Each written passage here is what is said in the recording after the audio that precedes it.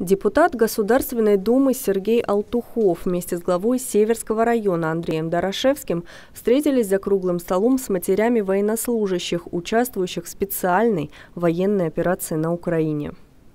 Мы с особым, наверное, э, трепетом поздравляем всех мам, пожелаем, конечно, всего самого доброго, самое главное здоровья, потому что это большое счастье, когда есть мама.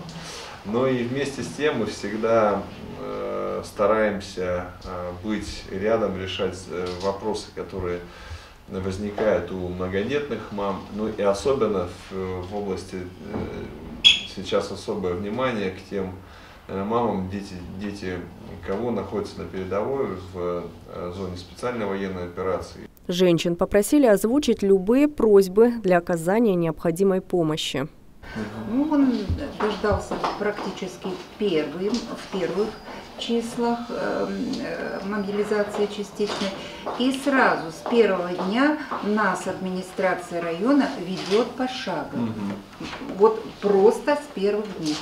Э, не просто общо и э, на словах, а точечно, какие есть проблемы, пожалуйста. У Марины Строцкой, помимо старшего героя, еще двое детей – Женщина рассказала, что среднего сына студента Краснодарского краевого колледжа культуры в учебном заведении обеспечили бесплатным горячим питанием. Дочь Маша – школьница. Позвонила маме в самый разгар встречи. Со школы домой сегодня музыка. Мама всегда на связи.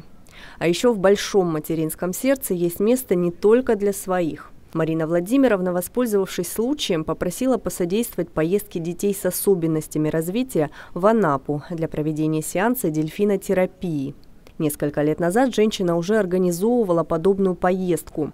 В тот раз собирались с миру по нитке. На встречу принесла альбом с фотографиями и вырезками из газет о детях из группы «Особый ребенок». Для себя ничего не просила. Услышав о неожиданном подарке от депутата, была смущена. Семье подарили компьютер и игрушку для дочери.